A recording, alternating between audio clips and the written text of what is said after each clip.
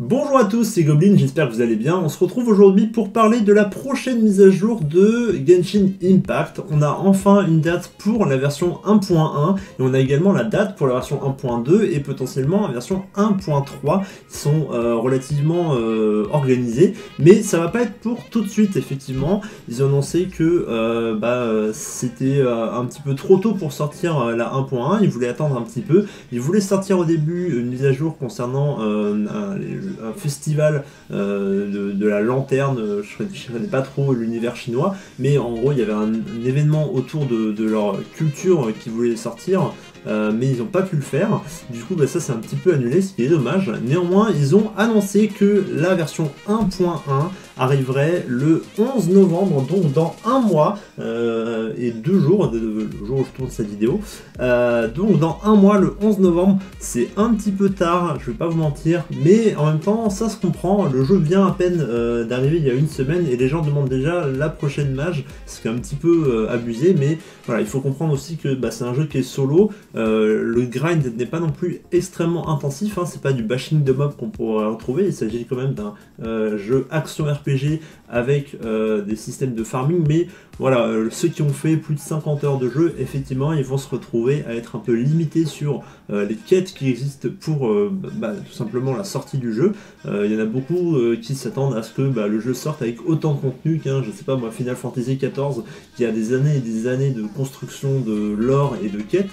Quand il est sorti, il y avait peu de contenu, bah là c'est la même chose, le jeu sort mais il a énormément de choses de prévues, mais ça va prendre du temps. Ils ont annoncé qu'il y allait avoir une mise à jour toutes les 6 semaines, d'accord? Donc euh, ils ont prévu de faire une match toutes les 6 semaines, donc on peut attendre à 1.4, 1.5, 1.6, etc. Pareil, toutes les 6 semaines, donc ça donne quand même pas mal de nouveaux contenus, euh, environ une fois par euh, mois, mois et demi. Ça veut pas dire qu'il n'y aura aucun contenu ajouté au jeu, d'accord? Ils vont rajouter sûrement des événements, histoire qu'il y ait des choses à faire en plus, mais ça ne sera pas une suite de quêtes euh, par rapport à la quête principale, la trame principale. Pour l'instant, on est à la version 1.0, donc on est à l'acte 1. Ils ont annoncé qu'il y aurait un acte 2, 3, 4, 5, si vous avez regardé un petit peu leur vidéo.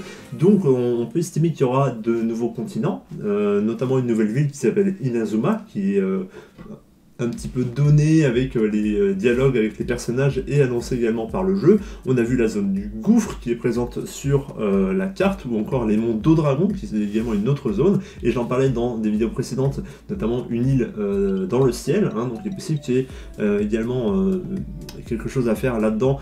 Peut-être on va dire le continent Anemo hein, qui dit dans le ciel, le vent, voilà il y a peut-être un truc à faire là-dessus. Et ça serait très sympa d'avoir une île céleste donc moi c'est vraiment le truc qui me plairait vraiment dans le jeu ce serait ça. Mais donc voilà, on attend un petit peu d'avoir des euh, nouveautés euh, sur le sujet. On, sait que. Enfin, Anemo, en, réalité, ce serait déjà le continent de base, donc ce serait peut-être pas Anemo, mais voilà, qui dit dans le ciel, ça pourrait être Anemo. Donc, ils ont lancé donc la 1.1, ce serait Unreturned Stars Off, donc ce sera un événement qui va être ajouté en plus dans, cette version, donc je sais pas exactement à quoi ça correspond, mais il y a un nouvel event qui va arriver. En version 1.2, il y a une nouvelle région qui va être ouverte, hein, de Longji Snow Mountain, donc sûrement avec euh, les monts d'eau dragon. Euh, et la version 1.3, il y aura donc le fameux événement euh, de la, du festival de la lanterne, des mers, je sais pas trop à quoi ça correspond, qui sera donc relativement sympa, ça va faire changer un petit peu une thématique, donc sûrement un reskin de, des villes hein, et, de l'univers, il va y avoir peut-être des trucs très orientés chinois par rapport à ce qu'il y a aujourd'hui.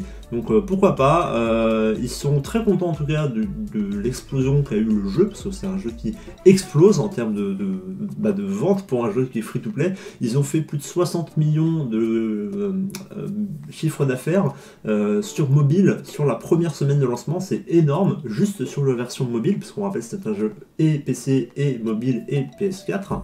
Donc c'est vraiment une super nouvelle pour le jeu.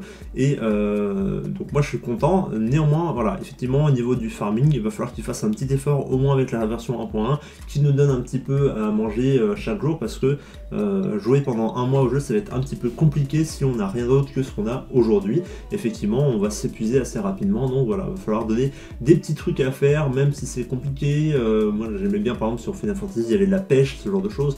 Donc voilà, il faudrait donner un truc un peu sympa à faire en attendant plutôt que grind des coffres qui n'apparaissent pas, ou, parce qu'on ne peut pas spammer en fait le contenu. C'est ça un petit peu le problème euh, qu'on va retrouver, c'est le contenu n'est pas vraiment spammable et c'est un, problème.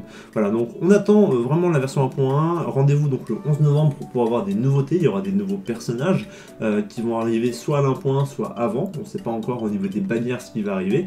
On sait que bah il y a des euh, il y a des bannières qui vont arriver. Je pense qu'ils vont mettre une bannière euh, prochainement et pas une bannière à la 1.1. Ça serait un petit peu stupide d'attendre 6 semaines pour mettre une nouvelle bannière pour un, jeu qui se veut être un petit peu gacha. Donc voilà, tout ça, euh, en tout cas, c'est ce qu'ils ont annoncé. je vais pas vous mentir, ça c'est une traduction Google du chinois. Je ne parle pas chinois, donc voilà, je suis sur leur site officiel qui est mioyo.com et ils ont plein de choses sympas qu'ils peuvent dire de manière générale.